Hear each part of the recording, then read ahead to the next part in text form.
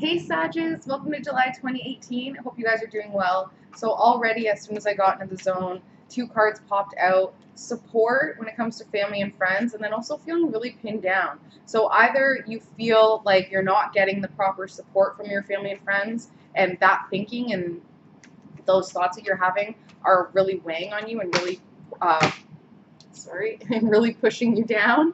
Um, or you feel like you can't connect with your family and friends because you're so bogged down with your thoughts and what's been going on. So keep in mind, Jupiter just went direct, so that's good. It definitely released some tension for the Sagittarius because you guys are ruled by the planet Jupiter. Um, that will start to feel a little bit better shortly. Like give it a give it a month or two to really get rid of that energy um, because Jupiter going direct when it was retrograde, it's just an easier way for you guys to express your optimism and your creativity. So maybe that's what's going on. Maybe you finally have that weight lifted off your shoulders, and family and friends are still kind of, you know, acting the way that they were acting before when Jupiter was still retrograde, and now you're trying to free yourself from those chains, essentially. Keep in mind, it's just your thoughts, right? It's just how you're perceiving the situation. So let's see, what do the Sages need to know for July 2018? Okay.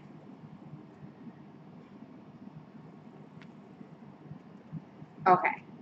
So the theme of this reading, Sag, for July 2018 is about the Queen of Pentacles. So this is an earth sign. She feels like the matriarch. She feels like the head of the household, the head of some sort of situation.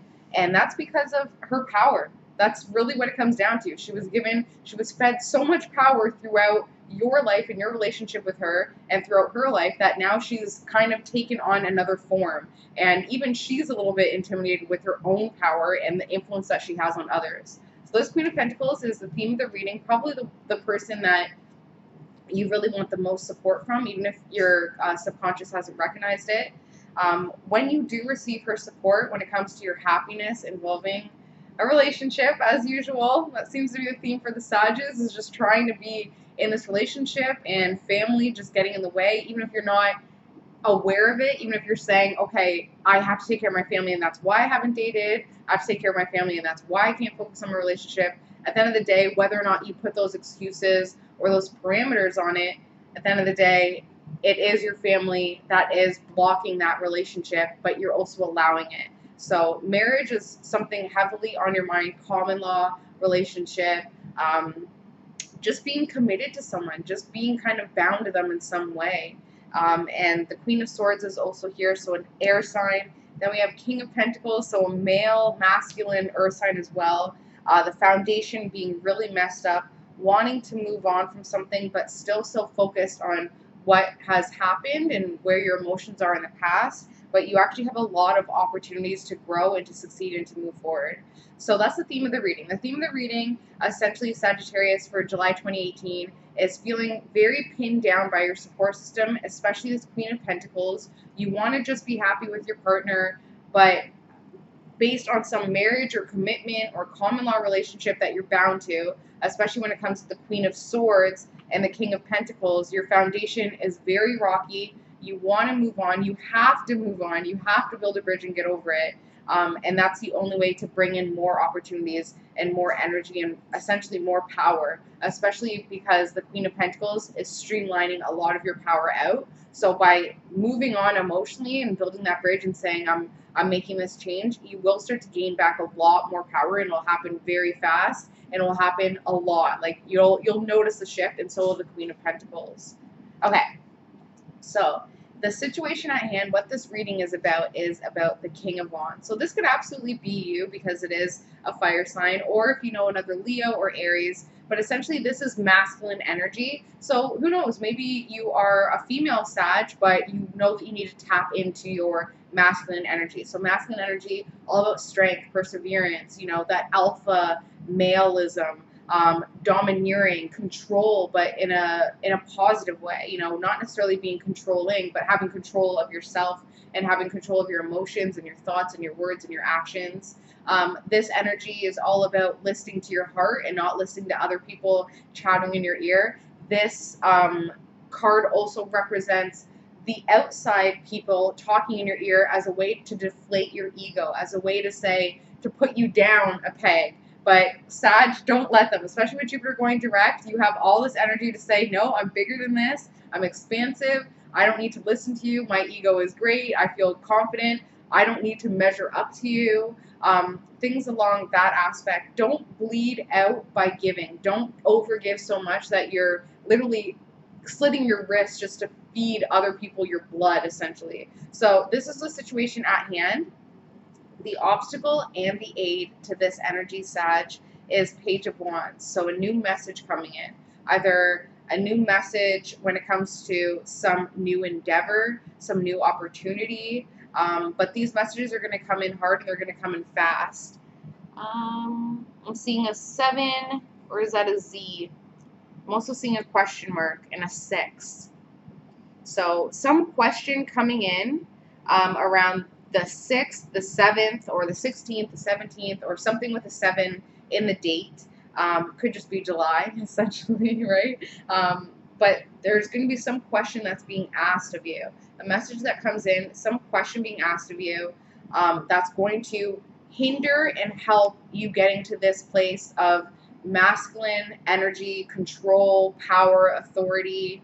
So that message, in that message, the question is going to be very dependent on how you're feeling. If you're feeling like this or if you're feeling like this. So before you answer any questions, any messages that come in, before you answer any questions, you want to envision this card. Envision yourself embodying this energy, the King of Wands energy, no matter no matter who you are, no matter what you look like, no matter what your sex is, your gender, your your race, anything. No matter who you are, as soon as you get this message that comes in that is asking a question, a very important question, embody this energy before you answer, okay? Because you're going to need a lot of strength, and the person is going to be able to tell your answer based on the energy. I know these days, you know, with, with text messages and emails, it's so hard to gauge how people are um, responding and how they're actually trying to portray their and um, relay their message. And a lot of the times we'll read it from the place that we're at, but at the end of the day, if you're embodying this energy, if you're putting that intention out, attaching it to the message,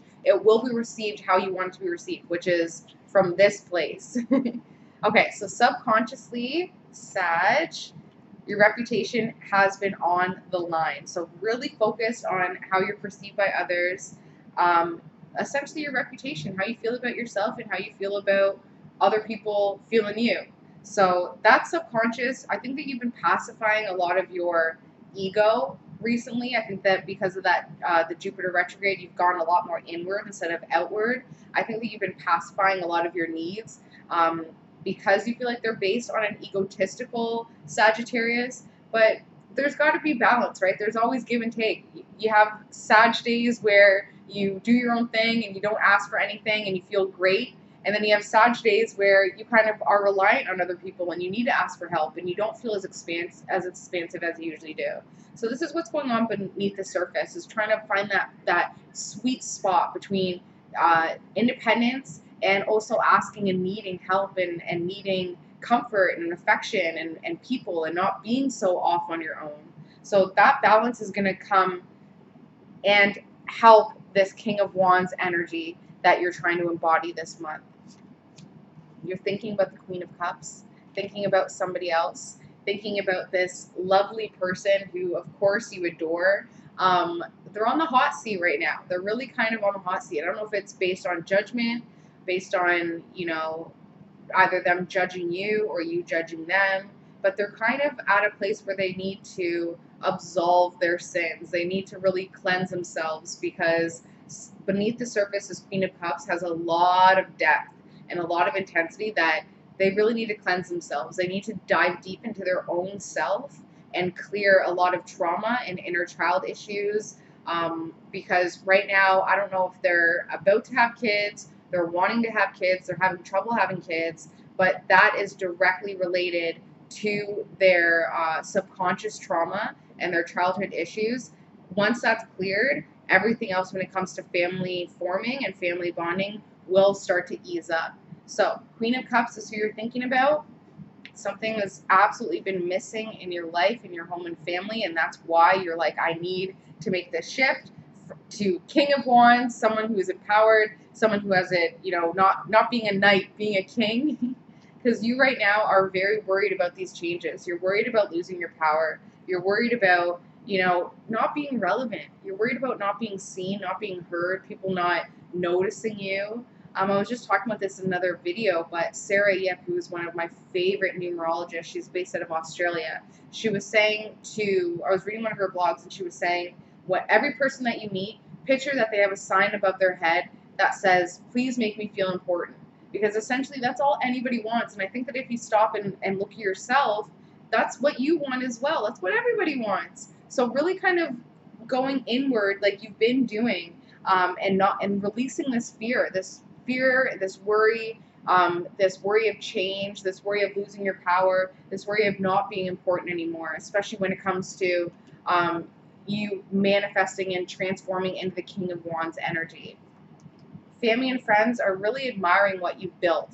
They've really admired what you've built. They've admired what you've worked for. And I think that's where there's some issues um, with the Sages. What I've noticed is love almost has to get the backseat. It kind of has to be pushed to the side because of the responsibilities and the work and the power and the money and the stability. Um, so love is kind of been putting the back seat. But as a Sagittarius, are, they can have it all. They're very expansive and they're very lucky. They need to travel. They can't be pinned down by anything, whether it be a relationship, whether it be an employee relationship, whether it be family. They can't be pinned down. So it could be that Sag, you're pushing a relationship to the side because that still gives you that little bit of freedom, that sense of freedom, although you're pinned down by work and family and, you know, um, Queen of Cups and your reputation and this fear of money and this fear of power. When if you would just release and let it all go and say, I can have it all, I can have the freedom plus the commitment, it would create a huge space of relief and, you know, release of tension and you'd be a lot happier in the long run. But it would absolutely be a journey and a process. It wouldn't be an overnight thing.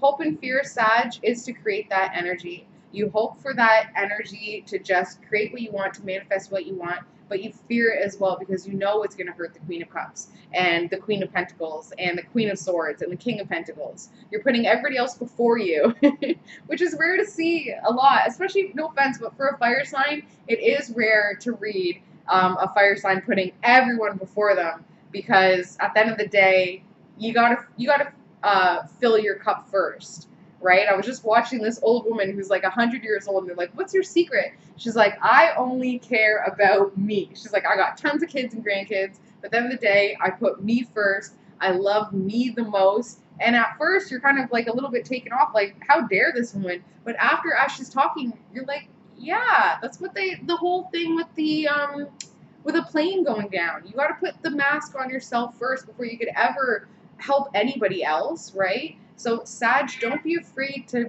tap into your energy, into your manifestation energy and your magic, and create the world that you want without thinking about all these people it's going to affect. Think about only how it affects you and how happy it's going to make you, and then naturally everybody else will slowly adjust to your happiness. Or they'll leave because they can't be around somebody so positive and good riddance, right? Okay, so first step, Sag, is to recognize that the Queen of Cups is really hindering um, your King of Wands energy, okay? So this energy, this person is really affecting your ability to answer this message that's coming in, to answer this question that's coming in with confidence, okay? Queen of Cups. Once you recognize that, you're going to start to see some fairness. You're going to say, okay, has it been fair how this person has been treating me? Has it been fair how I've been treating them? What can I do when, it, especially when it comes to this question coming in? What can I do in order to rebalance my life and my situation with the Queen of Cups.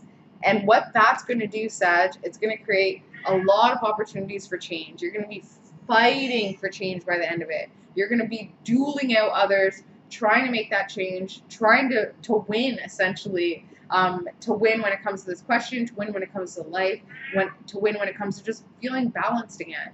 So, Sag, I hope you guys have an amazing summer, have an awesome July. I will talk to you guys in August. As always, if you want to book a personalized reading with me, please, my email is below beyondyoursunsign at gmail.com. I include astrology and numerology in all my readings. And please comment, like, and subscribe and share. Love you guys so much, and I'll see you in August. Bye, Sag.